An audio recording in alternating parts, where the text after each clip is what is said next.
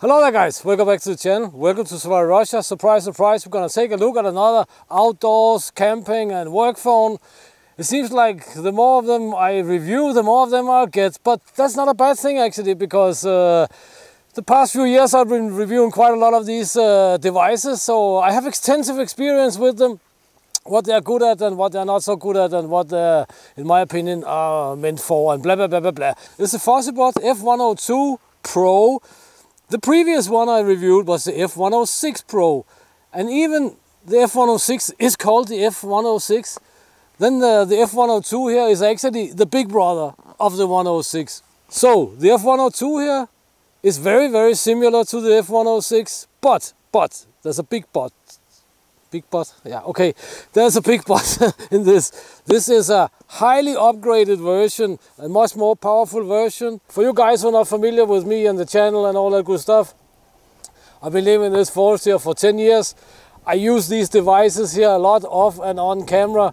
I would not say I rely on them because I would never rely 100% on an electronic device. But for not getting lost, for getting out of the forest, for getting to a point exactly where you've been a day or two days earlier, or maybe you have some place you want to return to uh, because of you can put the waypoints on your maps and all that good stuff if you have a good app and so on, right?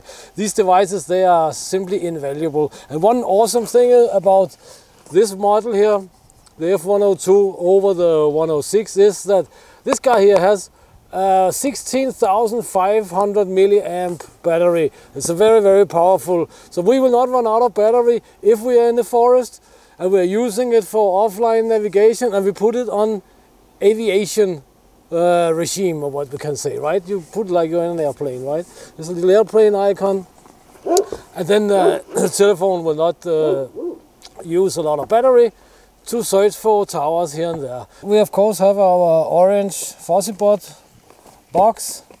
As always put it here. Here we have the phone. Charger 33 watt super fast power charger. It is uh, USB to USB so that is awesome. Here we have the phone. It's quite beefy. You can see we have an aluminium frame here. Here we have the camp light. It's 495 lumens just like the F106 but the shape of the camp light is a little bit different so when we have such a nice, functional and uh, strong camp light, like 495 lumens, then uh, it's of course, I mean, it's not really useful, you can say, to just having hanging like this, right? Because it will turn around and tra la la la. So I came up with a solution. As you can see, we have the phone here and uh, I do like this. It actually works pretty well.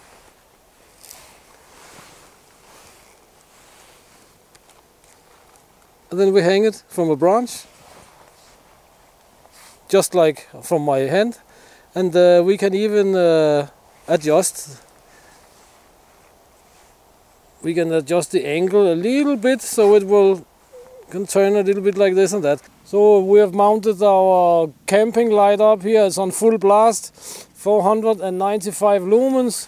And uh, I have all the light here that I can dream about I don't know how well it goes on the camera, but it should go on the camera. I mean, I can see everything I have in my pack, of course. We have a 108 megapixel camera here. We also have a 20 megapixel uh, night vision camera. Plus we have an infrared, uh, little infrared flashlight, of course. But the night vision is pretty decent, actually. Oh, I was obstructing it a little bit with my fingers, actually. Now it's much better. Now it's much gooder. Whoa. And we have a normal flashlight, of course, as well. And we have also a 50 megapixel Sony cam, if I am correct. No, 32 megapixel Sony cam front cam here. One of the greater, bigger updates is the Helio G99 octa-core processor. This is a brand new processor. It's very, very powerful. It must be because uh, I have I have only good things to say about the other Helio uh, octa-core processors. I think the I think the one I am using is uh, G86 or something like this. I don't really remember, but it's also an octa-core processor. This is a 2.2 gigahertz processor. As you can see here, 16,500 milliamps, big battery. That's of course why the phone is a little bit on the large side. But of other features, it's dust-proof, shock-proof, waterproof, or what we can say, resistant. It's shock-proof, we can throw it around and all that good stuff. It is uh, IP68, IP68K rated for water and uh, one awesome thing about it is can film underwater or record video underwater of course and we can use the camp light here as an underwater uh, light source which is not bad at all it's actually a pretty good idea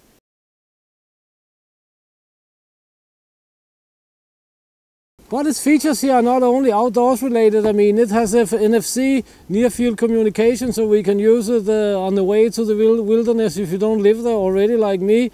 Then we can use it on gas stations and shops for payment terminals and all that good stuff. It's Android 13, which uh, is a lot better than the Android 12 actually.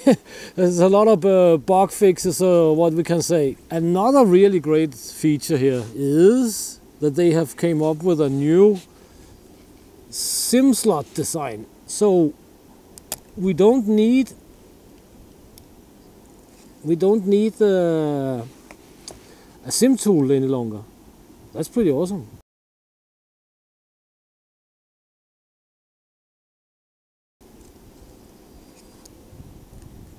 This of course waterproof. We just flip it out like this and uh, pull it out. It can flex a little bit, which is a good thing. And we have like a small uh, red O-ring here, rubber ring. And of course, Google Pay and Play Store and everything. We have here, of course, not uh, set up yet, right? But uh, Play Store is already ready with the updates. Uh, the camp light, what do we have? Camping light we have here.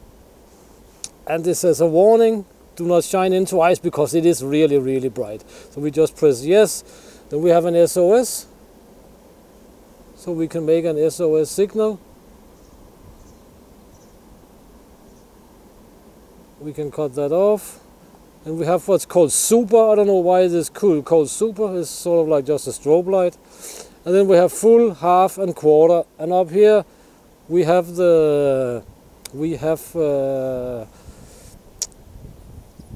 uh, over here we have the adjustments for how long we want the camp light to burn. We can set it to 60 minutes maximum. And then we can just uh, turn it on again of course. But that's how that is. That is the camp light. Full half and quarter. Just standard android you see system, system update, updated to Android 13, DuraSpeed, glove mode, we can set it to glove mode if we want to, location, battery, there's a lot of sub settings in the, in the battery settings actually. But that you will have to figure out yourself. so guys, if you are in the market for an outdoors electronic device, a rugged phone, which you maybe, maybe is because you're watching this video, then you should definitely go to the site and check out the full specs. There's also a brand new screen with a 120 hertz uh, frequency, update frequency and all that good stuff there's too much to tell about actually for just making a short video about a phone for the guys of you who might be interested. So there'll be links in the description, there'll be links in a pinned comment, so go and check them out. And uh, until next time guys, get out and train, get it done, do something awesome, and see you next video. Thank you very much for your time.